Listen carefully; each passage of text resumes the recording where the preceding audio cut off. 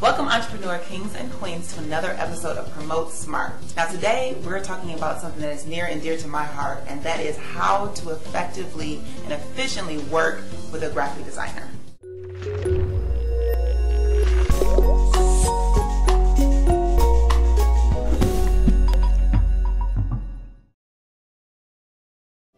Now, every business owner that has ever existed has had the need for the services of a graphic designer. It's one of the reasons why I love what I do because I get to work with a variety of industries and meet a wide range of entrepreneurs, community figures, and colleagues. But there is an art to working with a professional in the creative field. It can be an extremely fulfilling experience, but also can be a nightmare if both parties are unsure of true intentions and desires. So let's talk about some key ways to make your next interaction with a graphic designer the best it can possibly be. Number one, don't give complete creative control. Do your research about what you would like to see in your piece. Don't simply say, do what you want. There's a large chance that you might not like what is produced at all. It also causes the designer to spend more time brainstorming about your project without a clear direction. Google the very item that you're trying to create or the idea that you initially had and see what others have created that catches your eye. 2. Allocate a budget.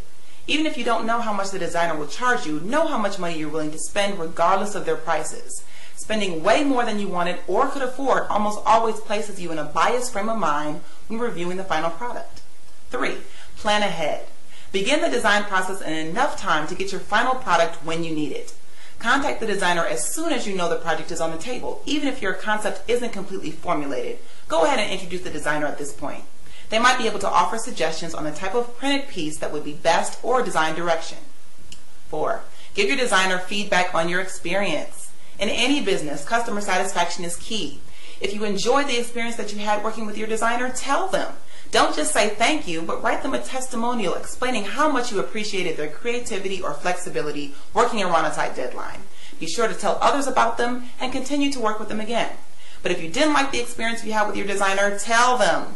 In a professional and courteous manner, let them know what your true feelings were about your interaction and where they can improve. 5. Leave the initial consultation knowing specifics. After meeting with a designer for the first time, you should walk away knowing the following.